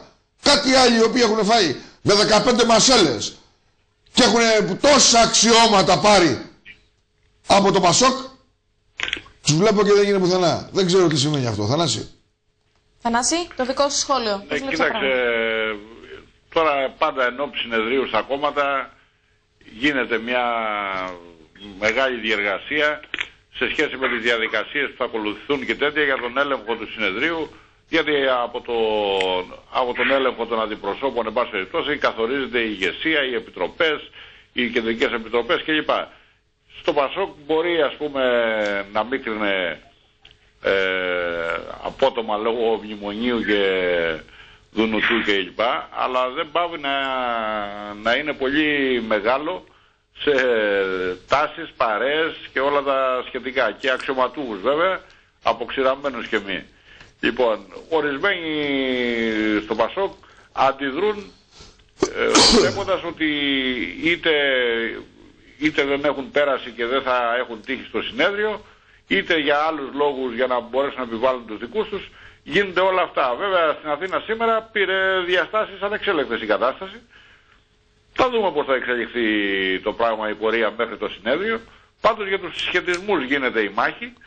Και βεβαίως, αν κρίνουμε ότι η αριστερή πρωτοβουλία εμέσως ε, ήταν τάση προεδρική του Γιώργου Παπαδρέου, Βασιλευτός κλπ. η οποία δημιουργήσε, δημιουργεί αυτή την κατάσταση με συνεχείς καταγγελίες και λοιπά και με απειλές για αποχωρήσεις. Θα δούμε αν θα υπάρξει μια σύνθεση στην Επιτροπή ε, του συνεδρίου που θα καθορίσει το αντιπροσώπο. Πάντως να πούμε ότι εδώ τα πράγματα εξελίσσονται θετικά κατά τους ε, τοπικούς διοργανωτές και ότι την Κυριακή θα γίνουν οι εκλογές για την ανάδειξη των ε, αντιπροσώπων ε, του συνεδρίου, το οποίο θα γίνει 28 με 3 Μαρτίου. Μάλιστα. Θέλω να σε ρωτήσω, τελικά πιστεύεις ε, ότι ίσως χάσει έδαφος το Πασόκ μετά από τέτοια γεγονότα; Ε, κοίταξε να δεις, στην εικόνα του κόσμου είναι δεδομένο ότι θα υπάρξει ένα τέτοιο κλίμα. Ε, αν όχι να χάσει έδαφος, τουλάχιστον να υπάρξει επηρεασμός της βάσης του Πασόκ με βάση τα όσα βλέπουμε. Αλλά η πραγματικότητα είναι ότι το Πασόκ προσπαθεί σε επίπεδο Βρυξελών να σου πω ότι γίνει μια μεγάλη προσπάθεια. Αυτά όμως που γίνονται σε επίπεδο Βρυξελών δεν αντανακλώνονται στην ελληνική κοινωνία. Το παραδέχτηκαν και οι ίδιοι ευρωβουλευτές. Λέει ακόμα και στις ιδιαίτερες πατρίδες μας δεν ξέρουν, λέει, ότι τι κάνουμε εδώ πέρα. Υπάρχει ένα ζήτημα επικοινωνίας του Πασόκ με την κοινωνία, ένα ζήτημα σύνδεση τη βάση, μας το είπε και ο Αντώνης Ολιάρο, και ψάχνουν να βρουν πρωτοβουλίες και τη δυνατότητα τουλάχιστον να συνδεθεί το Πασόκ με την κοινωνία. Τώρα, όταν βλέπει κάποιε καρεκλιές, μειώσει μισθών, ε, ακόμα στο ίδιο Πασόκ, απλήρωτους εργαζομένους και όλο αυτό το σκηνικό ε, μιας ε, εικόνας ύψη, καταλαβαίνεις ότι κάτι δεν πάει καλά και με το Πασόκ. Είναι πραγματικότητα πάντως ότι είδαμε σήμερα τους ευρωβουλευτές του εξαιρετικά προβληματισμένους. Μάλιστα, εγώ να σα ευχαριστήσω και τους ε, με, Τελειώνοντας, ναι. θέλω πάντως ε, να τελειώσουμε με την κουβέντα την οποία και το θέμα το οποίο έβγαλε από τις Βρυξέλλες. Ε, με συγχωρείτε, ναι. Ότι αυτό που είπες, που σου είπε ο κύριος Ντούρίζα, ότι δεν υπάρχει κόμμα να τον εκπροσωπεί, κατά την άποψή να εκπροσωπεί την Ελλάδα, είναι πολύ σοβαρό. Που δείχνει μεγάλα πράγματα. Να κλείσουμε με αυτό. Ναι, ναι, ναι, Νίκο, γιατί νομίζω ότι ε, κάποιες κινήσεις από τον μπλοκ του Γιώργου Παπανδρέου έχουν σχολιαστεί ε, και μπορούν να σχολιαστούν έτσι, ιδιαίτερα. Η κυρία Ράπτη δεν το αποδέχτηκε αυτό π.χ. Ε, κάποιοι άλλοι ευρωβουλευτές δεν το αποδέχτηκαν καν, ούτε το σχολίασαν. Υπάρχουν διαφορετικές γραμμές μέσα στο Πασόκ. Όλοι πάντως προσπαθούν να, βρουν, να βγουν, μάλλον, ενωμένοι από, το, από αυτήν την διελκυστίνδα που έχει μπει το Πασόκ εδώ και αρκετό καιρό. Μιλάμε για συμπληγάδες, όχι για απλά πράγματα. Είναι δεδομένο ότι ε, υπάρχει ένα γενικότερο άγχος. Ε, μπορώ να σου πω όμως είναι εντελώς διαφορετικές οι γραμμές που επικρατούν στην Ελλάδα με αυτές που επικρατούν στην Ευρώπη. Ο Θεό να σας βοηθήσει και να βοηθήσει και τη χώρα. Θέλω να σε ρωτήσω, μπορούμε να σε δούμε τελικά από τη με ακούω από το Ναι, κέντρο. ε, Οπότε προφανώς μπορούμε να δούμε μερικές εικόνες να μας μεταφέρουν. τώρα εδώ που είμαστε, είμαστε. Τώρα που τελειώσαμε, αποκαταστάθηκε το, το, το, το Είναι τα πρόβλημα. παιχνίδια της τεχνολογίας. Ναι. Α, σε βλέπουμε. Ωραία. Λοιπόν, ε, εμείς είμαστε εδώ στη Ωραίο, ωραίος. Ε, Θέμη έφυγες ξυρισμένος και γυρίζεις Γύρισε αξίριστος που είπε ο αξίριστος, Σαμαράς. Όσα γι' αυτό που ο Σαμαράς Από ότι τις μπήκαμε πολλές συνήθως ώρες. αξι... Ε, Θανάση, γι' αυτό που ο Σαμαράς μπήκαμε συνήθως αξιρισμένοι και βγήκαμε αξίριστοι. Ναι, ναι, ναι. Και εμείς, ε, και εμείς έτσι βγήκαμε. Σας ε, επαναλαμβάνω γιατί έχει πολύ μεγάλη σημασία. Γιατί ε, πριν από, θα βρεθούμε μάλλον απόψε και σε μια ελληνική έτσι οδό και συζητήσαμε με κάποιους καταστηματάρχες. Θα προσπαθήσω να σας φέρω και ρεπορτάζ κιόλας. Σε καμιά ελληνική ταβέρνα να πάτε να αφήσετε τα λεφτά σας Έλληνες. Μην πάτε πουθενά αλλού. Ναι, στη στροφιλιά θα πάμε. Α, στο φιλιά, ναι. Λοιπόν, ε, έχει πολύ μεγάλο ενδιαφέρον να δούμε και οι Έλληνες επιχειρηματίες πώς βλέπουν, ε, μάλλον τι του λένε οι ξένοι για, τις, ε, για τη χώρα μας. Και με όσους μιλήσαμε, μας είπαν πάντως τα, τα καλύτερα, ότι έχει αναστραφεί άρδεν το κλίμα και νομίζω ότι αυτό είναι το σημαντικότερο θετικό μήνυμα. Ε, μπορώ να σας πω ότι όλοι μας λέγανε παιδιά αισιοδοξία. Ε, Εμείς βέβαια δεν μπορούμε να ικανοποιηθούμε με το παιδιά αισιοδοξία, γιατί η αισιοδοξία δεν τρώγεται. Θέσαμε και ερωτήσεις ε, με τις 1500 αυτοκτονίες π.χ. που υπάρχουν στη χώρα της κρίσης. Δεν ξέραμε, το ρωτήσαμε τον κύριο Σβόμποντα, δεν ξέρουμε αν καταλαβαίνετε τι πάνε να πούν, τι πάνε να, πούν, τι πάνε να πει οι 1500 ανθρώπινε απώλειες για μια κρίση, δεν είναι πολύ. Ε, και τον ίδιο τον είδαμε προβληματισμένο. Αλλά λίγο πολύ το κλίμα που βγαίνει είναι ότι η Ελλάδα θα στηριχτεί, όμως και θέλει χρόνο και θέλει υπομονή, όχι από τους Έλληνες, αλλά από τους Ευρωπαίους. Πρέπει να κάνουν υπομονή οι Ευρωπαίοι και να καταλάβουν επιτέλους ότι η Ελλάδα είναι ισότιμο μέλος της Ευρωπαϊκής Ένωσης και ότι η Ελλάδα πρέπει και έχει έχει τη δυνατότητα και να στηριχθεί στα πόδια της. Μέσα στο 2014 μας είπαν ότι θα γίνει κάτι τέτοιο, αλλά και να προχωρήσει με βάση μια συγκροτημένη πολιτική. Αν θα μπούμε πάλι στη διαδικασία κάποιων αριστερίστικων, έτσι μας τους ανέφεραν, ε, επιλογών του να βγούμε από την Ευρωπαϊκή Ένωση, κανείς δεν ξέρει ποιος θα, είναι- ποιος θα Πρέπει να είναι. καταλάβουν, κακά τα ψάματα πρέπει να καταλάβουν όλοι ότι δεν αντέχουμε άλλο σε αυτά τα πράγματα. Το είπε και ο κύριος Ολάντ αυτό και το, δια- και το είπε: Δεν υπάρχει άλλες θυσίες για την Ελλάδα. Η Ελλάδα έχει ξεπεράσει τα όρια της και πρέπει να καταλάβουν όλοι και αυτή την κουβέντα που είπε ο Αντώνης Σαμαράς. Ότι η Ευρώπη ενώνει και συνθέτει. Δεν, είναι, δεν διχάζει ούτε έχει τα, τα, τα αποπεδά της και τα παιδιά της. Αυτό πρέπει να καταλάβουν οι Ευρωπαίοι. Ε, ό- όταν βρεθήκαμε στην αίθουσα του Ευρωπαϊκού Κοινοβουλίου, και καλό είναι να βρεθεί κάθε Έλληνας, πίστεψε με, ε, το πρώτο που αντικρίζει είναι μια λέξη ε, στα ελληνικά. Είναι η λέξη δημοκρατία. Και νομίζω ότι αυτό μπορεί να τα πει όλα. Ότι, Αυτό, ε, αυτό ο- να, τα, να το ξαναπείς για να ανατριχιάζουν όλοι οι Έλληνες και να παίρνουν από το ένα το ηθικό τους. Ε, και νομίζω ότι από εκεί και μέρα ε, όλοι θα πρέπει λίγο να ψάξουν ναι, ε, και να. Και εμείς να κάνουμε λίγο υπομονή. Δεν μπορούμε να κάνουμε άλλο υπομονή, αλλά τέλος πάντων έτσι όπως έχουν τα πράγματα να πάνε λίγο καλύτερα. Πάντως τα μηνύματα που βγαίνουν από το Ευρωπαϊκό Κοινοβούλιο, για να κλείσω, ε, γιατί φεύγει και το λεωφορείο, τα μηνύματα που βγαίνουν από το Ευρωπαϊκό Κοινοβούλιο είναι εξαιρετικά ε, σημαντικά για τη χώρα μας όσον αφορά το επίπεδο στήριξης. Τώρα, το πόσο αυτό μεταδίδεται σε απόδοση, μένει ε, και τα ελληνικά χέρια να αρπάξουν αυτή την ευκαιρία. Δεν μπορούμε να συζητάμε για επενδύσεις. Για παράδειγμα, θα μας δώσουν 44 δισεκατομμύρια ευρώ από το ΕΣΠΑ, αλλά αν δεν ξέρουμε τι να τα κάνουμε και τους επιστρέψουμε τα 18 όπως κάναμε στην προηγούμενη περίοδο, ε, τότε νομίζω ότι είμαστε και για γέλια και για κλάματα. Επιστρέψαμε 18 δισεκατομμύρια. Δηλαδή, τι μπορούμε να συζητάμε. Τι μας παίρνουν οι Ευρωπαίοι 6 δισεκατομμύρια ευρώ από τα πρόστιμα που ρίχνουν στις κομματερές. Μιλάμε για ποσά τα οποία είναι αδιανόητα σε μια περίοδο κρίσης. Όταν σου λέει όλο για 6 δισεκατομμύρια ευρώ, λες τι γίνεται, όταν 980 δισεκατομμύρια είναι ολόκληρος ο προπολογισμό της Ευρωπαϊκής Ένωσης. Μάλιστα, θέλουμε να σε ευχαριστήσουμε. Καλή επιστροφή. Γεια σου, Θέμη, καλή επιστροφή. Να σα ευχαριστώ και, σε- και τους δυο σας. Καλή νύχτα, καλή νύχτα. Να είστε, Νίκο. Εμείς συνεχίζουμε με την υπόλοιπη επικαιρότητα, τη μείωση των λειτουργικών δαπανών αλλά και του προσωπικού μέσω της αναδιάρθρωσης προβλέπει η κυβέρνηση που κινείται με ταχύς ρυθμούς. Στόχος να περιοριστούν οι διευθύνσεις και τα τμήματα των ΟΤΑ κατά 40%, να μειωθούν οι οργανικές δαπάνε και να συρρυκνωθούν οι λειτουργικές.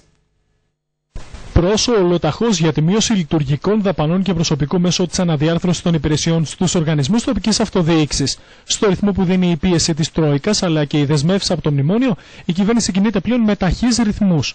Η πολιτική ηγεσία του Υπουργείου Εσωτερικών επιθυμεί να δώσει δείγματα γραφής ότι προχωρά τις διαδικασίες για αλλαγές στις δομές των Δήμων και των Περιφερειών με στόχο να περιοριστούν οι διευθύνσεις και τα τμήματα των ΟΤΑ κατά 40%, να μειωθούν οργανικές δαπάνες αλλά και να συρρυκνωθούν λειτουργικές. Οι αλλαγές στις υπηρεσίες στην τοπική αυτοδιοίκηση δημιουργούν νέα δεξαμενή για τη διαθεσιμότητα των υπαλλήλων.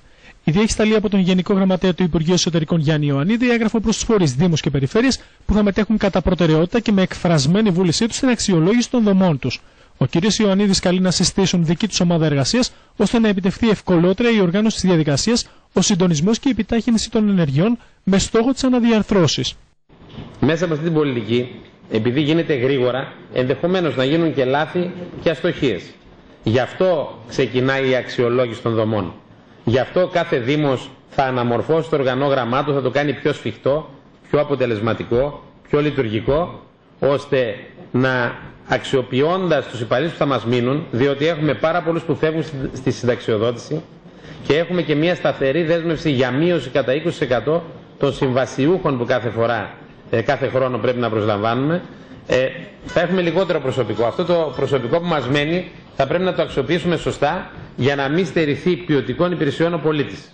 Ο κ. Τηλιανίδη είχε μιλήσει για αυτές τις δομές στην πρόσφατη επίσκεψή του στη Μεσσηνία και η αξιολόγηση φαίνεται ότι θα γίνει στην επανεξέταση των δομών οργανισμών σε σχέση με τα γενικά χαρακτηριστικά του προσωπικού της κάθε υπηρεσία. Ωστόσο, είναι βέβαιο ότι οι αλλαγές στις υπηρεσίες, καταργήσει οργανικών θέσεων αλλά και ανακατονομία ορμοδιοτήτων θα δημιουργήσουν δεξαμενή υπαλλήλου για διαθεσιμότητα που θα προσθεθούν στο προσωπικό που ήδη έχει τεθεί στο πρόγραμμα κινητικότητα. Στο πλευρό των εργαζόμενων βρίσκεται η περιφέρεια για τους ΙΔΑΧ. Στην Τρίπολη, μάλιστα, εκδικάζονται τα πρώτα ασφαλιστικά μέτρα για τους εργαζόμενους που αποχώρησαν, ενώ η περιφέρεια καταθέτει υπέρ των υπαλλήλων και στέκεται βράχος δίπλα τους. Τα όσα έχουν έρθει για τους υπαλλήλους των ΟΤΑ και με το μέτρο της διαθεσιμότητας βρίσκει την περιφέρεια Πελοποννήσου αντίθετη. Μάλιστα, όπως σημειώθηκε, η περιφέρεια είναι στο πλευρό των εργαζομένων και στον δικαστικό του αγώνα. Γνωρίζουμε ότι οι υπάλληλοι που εργάζονται στο δημόσιο τομέα αντιμετωπίζουν πάρα πολλά προβλήματα με αποφάσεις οριζόντιες και πάρα πολλές φορές έχουμε εκφράσει μια διαφορετική άποψη. Η Περιφέρεια Πελοποννήσου ήταν πρώτη και πήρε θέση όταν με όλους τους τρόπους που μπορούσε αντιστάθηκε στην απόφαση που είχε να κάνει με τους ΣΥΔΑΧ. Το λέω γιατί στην Τρίπολη εκδικάζονται τα πρώτα ασφαλιστικά μέτρα για τους συναδέλφους σας οι οποίοι αποχώρησαν. Και θέλω να σας πω ότι η Περιφέρεια Πελοποννήσου είναι εκεί, καταθέτει, εκπροσωπείται η πολιτική της ηγεσία για να πούμε ακόμη μια φορά ότι είναι αδιανόητο με τόσα πολλά προβλήματα που υπάρχουν, με τόσες κενές οργανικές θέσεις που υπάρχουν, μετά τις συνταξιοδοτήσεις, να μην είναι δίπλα μας αυτοί οι συνάδελφοί σας. Την στήριξη τους εργαζόμενους δήλωσε απερίφραστα και ο Περιφερειάρχης Πελοποννήσου Πέτρος Στατούλη. Η Περιφέρεια Πελοποννήσου με καθαρό λόγο είναι υπέρ των εργαζομένων. Και το λέω αυτό γιατί πολλές φορές τα συνδικαλιστικά όργανα, διάφοροι συνδικαλιστές, θέλουν να εκφράζουν τη δική τους συντεχνιακή λογική ως γενική πολιτική κατεύθυνση. Και όταν καλούνται στα δύσκολα δεν παίρνουν αποφάσεις. Μεταβουβάζουν, μεταφέρουν το πρόβλημα σε άλλο επίπεδο. Όπου είναι καλά τα πράγματα βγαίνουν όλοι μπροστά. Όπου τα πράγματα είναι δύσκολα δεν βγαίνουμε μπροστά. Έτσι δεν μπορούμε να πάμε. Έτσι μεγαλώνουμε το λαϊκισμό. Η ενσωμάτωση των Ρωμά στην κοινωνία ήταν το κύριο θέμα στη σύσκεψη της περιφέρειας. Λόγος μάλιστα έγινε για τον τρόπο ενσωμάτωσης που δεν είναι άλλος από τη συνεργασία και τον διάλογο με τους ίδιους. Σύμφωνα μάλιστα με τον Περιφερειάρχη Πελοποννήσου, οι Ρωμά που ζουν στη χώρα είναι Έλληνες πολίτες. Στις πρώτες κινήσεις που θα πραγματοποιηθούν είναι η ιατροφαρμακευτική περίθαλψη, η δημιουργία συμβουλευτικού κέντρου και η ένταξη σε προγράμματα ανέργων. Σύσκεψη πραγματοποιήθηκε για το κοινωνικό-πολιτικό πρόβλημα της ενσωμάτωσης Ρωμά στην πελοποννησιακή κοινωνία. Στη συζήτηση βρέθηκε ο Πέτρος Στατούλης, παρουσία εκπροσώπων της Ευρωπαϊκής Επιτροπής της ΜΟΔ, του Υπουργείου Εργασίας και της Διαχειριστικής Αρχής της Περιφέρειας, ενώ το παρόν έδωσαν οι αντιπεριφερειάρχες Δίνα Νικολάκου, Ανδρέας Πουλάς και Απόστολος Παπαφωτίου. Τη λογική θέλουμε να κινηθούμε. Είμαστε απέναντι σε οποιαδήποτε, λογική ε, της συνέχειας των πολιτικών για την ικαιτοποίηση και τη συνέχιση της ικαιτοποίησης. Το Ρωμά, η Ρωμά είναι στην Ελλάδα, είναι Έλληνες πολίτες με ίδια και ίσα δικαιώματα με όλους τους υπόλοιπους Έλληνες πολίτες. Αυτή είναι η πορεία των Ελλήνων Ρωμά και θα πρέπει η πολιτική παιδεία να κάνει μεγάλα βήματα για να καλύψει και τα ελλείμματα των πολιτικών για τόσες δεκαετίες. Ο κ. Στατούλης μάλιστα ανέφερε πως η παραβατικότητα κοστίζει περισσότερο από την ενσωμάτωση των Ρωμά στην κοινωνία. Μεταξύ των πρώτων κινήσεων που θα γίνουν είναι η παροχή ιατροφαρμακευτικής περίθαλψης, η δημιουργία συμβουλευτικού κέντρου, η ένταξη σε πρόγραμμα άνεργων γυναικών και ανδρών Ρωμά, ενώ θα πρέπει να γίνουν προγράμματα για τη στέγαση των Ρωμά. Το κόστος της παράνομης και έκνομης δραστηριότητας ως αποτέλεσμα στην οικονομία είναι πολύ μεγαλύτερο από το πιθανόν κόστος ενσωμάτωσης αυτών των κοινωνικών ομάδων στην ελληνική κοινωνία. Το δεύτερο στοιχείο είναι ότι η Ρωμά στην Ελλάδα είναι τελείως διαφορετική ακόμα και από τους Ρωμά της Ρουμανίας ή τους Ρωμάς της Βουλγαρίας. Έχουν τελείως διαφορετικό ιστορικό και πολιτιστικό background. Μάλιστα, στη σύσκεψη έγινε λόγος πως όταν η Περιφέρεια Πελοποννήσου έθιξε και άνοιξε το ζήτημα, τότε τα πολιτικά άκρα προσπάθησαν να επωφεληθούν τις πρωτοβουλίες τους με τον δικό τους τρόπο και έτσι έγινε κάλεσμα να σταματήσει ο υπερβολικός προστατευτισμός και λαϊκισμός.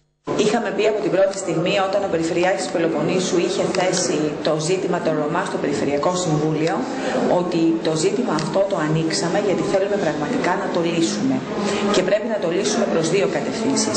Η μία κατεύθυνση είναι να δούμε πώς μπορούμε με ένα βραχυπρόθεσμο αλλά κυρίως μακροπρόθεσμο σχεδιασμό να αντιμετωπιστεί αυτό το πρόβλημα στην Περιφέρεια Πελοποννήσου με την ενσωμάτωση των Ρωμά που βρίσκονται στην περιφέρειά μας μέσα στην κοινωνία γιατί αυτό αποτελεί λύση στο πρόβλημα.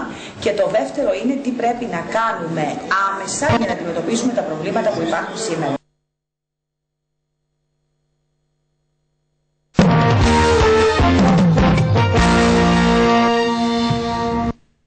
Να καλησπερίσουμε μάλλον τον Γιάννη Μπούρα που είναι μαζί μας. Γιάννη, καλησπέρα αρχικά και έχουμε πολλές εξελίξεις στην Καλαμάτα, σωστά; Καλησπέρα, Δέσπινα, φίλες και φίλοι, καλησπέρα. Ακριβώς όμως να ξεκινήσουμε την είδηση ότι ο Μεσσηνιακός επικράτησε με ένα 0 τσεράνι στο γήπεδο του Μεσσηνιακού. Εκεί με τέρμα που σημείωσε ο Τσουλάκος στο 25ο λεπτό. Οπότε σε συνάρτηση με το 1-0 που είχε επικρατήσει η καλαμαριανή ομάδα στο γήπεδο της Σεράνη, πέρασε στον τελικό του κυπέλου Μεσσηνίας και θα περιμένει να δει τον αντίπαλό της που θα είναι ανάμεσα στο ζευγάρι Απόλλων Καλαμάτας και Πάμισος. Να θυμίσουμε ότι ο Πάμισος έχει επικρατήσει 2-1 στο πρώτο παιχνίδι στο γήπεδο της Μεσίνης και περιμένουμε το παιχνίδι της Τετάρτης στο γήπεδο Παναγιώτης Μπαχράμης. Τώρα να έρθουμε όμως και στα της Μαύρης Θήλας που έχουμε ραγδαίες εξελίξεις. Καθώς η Νίκος Κακαλέτρης και ο Παναγιώτης Σάκη Λαρόπουλο αποτελούν πλέον το προπονητικό δίδυμο της Μαύρης Θήλας μετά τη λύση της συνεργασίας της ομάδας με τον Ζόραν Γεύτοβιτς. Και λοιπόν με νέο αέρα η ομάδα της Καλαμάτας θα αγωνιστείς το, την προσεχή Κυριακή στο ντέρμπι της Πελοποννήσου απέναντι στον Πανηλιακό. Και όπως μας δήλωσαν οι μεσίνοι τεχνικοί, ε, είναι αισιόδοξοι για τη συνέχεια και την βαθμολογική πορεία που θα έχει η ομάδα στο πρωτάθλημα. Να δούμε όμως το τι μας δήλωσε αποκλειστικά στη τηλεόραση Best ο προπονητής, ένας εκ των προπονητών, ο, ο Νίκος ο Καγαλέτρη. Έχουμε μαζί μας ε, έναν εκ των δύο νέων προπονητών της ε, ομάδας Καλαμάτας, τον κύριο Νίκο Καγαλέτρη. Συγχαρητήρια κύριε Καγαλέτρη για την ανάληψη της, του πάγκου της ε, ομάδας της Μαύρης Θήλας. Ε, ευχαριστούμε κύριε Μπούρα. Ε, η στιγμή είναι σίγουρα δύσκολη για την ομάδα. Η ομάδα βρίσκεται σε δύσκολη βαθμολογική θέση που δεν είναι αντιπροσωπευτική της δυναμικής της και της αξίας της. Ε, ο Παναγιώτης και, και εγώ πιστεύουμε πάρα πολύ στις δυνατότητες των παιδιών, της ομάδας και του κόσμου που πάντα αυτή την ομάδα ε, και δίνει να δώσω κάτι παραπάνω έτσι ώστε να πολύ σύντομα να ανέβει η θέση και να φύγει από αυτή, αυτή την πλασματική τελευταία θέση και να ξαναπάει μπει πάλι στους στόχους της.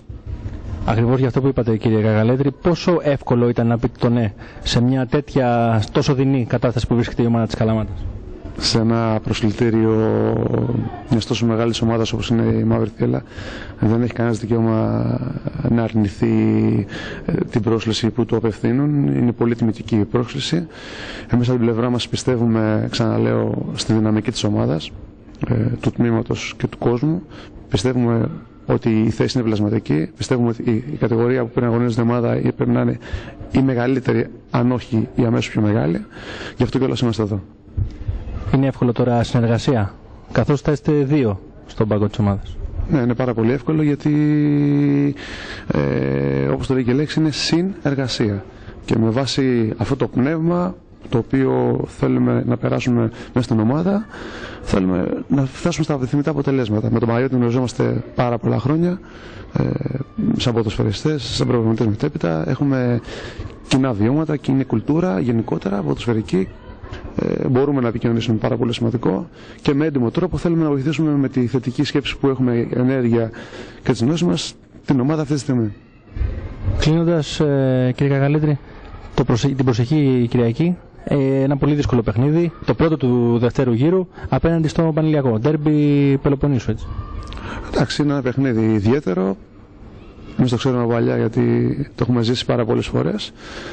Η ομάδα πρέπει να συνταχθεί με τα τελευταία επιτυχία αποτελέσματα.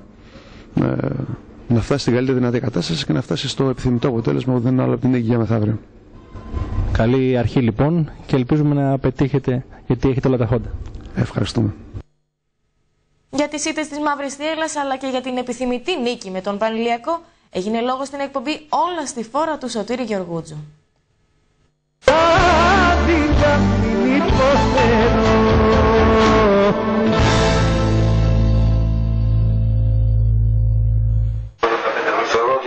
Ότι η Καλαμάτα είναι μια ιστορική ομάδα η οποία πρέπει να αγωνίζεται ούτε στη Β' Εθνική, στην Α'